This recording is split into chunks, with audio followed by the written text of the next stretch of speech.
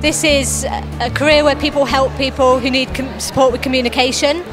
So we've been doing this by we've been having a bake sale where people have to use total communication such as iPads, talking mats to order things without using their voice. This has gone down really well and we've had a lot of people come and see us today and donate and to see more about what it's about.